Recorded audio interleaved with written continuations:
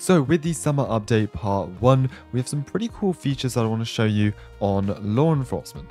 Now if you remember, they added a duty belt over here in the recent update, and this is one of the kind of things you can customize. So as you can see, we've currently got the pistol on the right, and we've got the taser on the left. Pretty straightforward, right? You can't really do much customization with it right now. Hopefully in the future there will be more options to customize and move things around and add more things to your belt. Anyways, Belt has been equipped, perfect.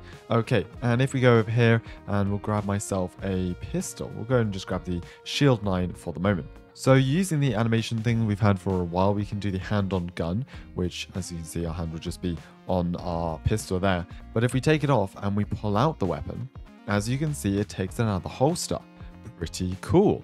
So yeah, the weapon is removed from the holster. It looks kind of weird like this, um, I wish there was a way that you could like hold it in your holster and pull out, but it's pretty cool anyways. You can now be holding the weapon out and as you can see, it isn't in your holster anymore. Same thing goes with the taser. Pull it out and it's no longer in the taser command on the right there. You can see it's in and it's out. These are the types of details that I love to see ERLC add because it looks so good in cinematics and photos and whatnot when an officer's uh, pistol is drawn and they don't have a pistol, they have another pistol in their holster. It just looks so good.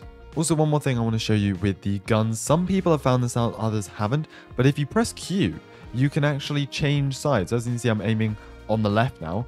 And if we press E, I'm now aiming on the right. You can see if we were like stacking up, um, if this was a wall and not windows, and if we were stacking up to do a breach of the building, if I wanted to go third person, I can then change it to Q and be on the other side. It's a bit weird because I'm not used to that, but it's still a pretty cool feature that um, some people haven't seen. Q and E, you can change which shoulder your weapon's on.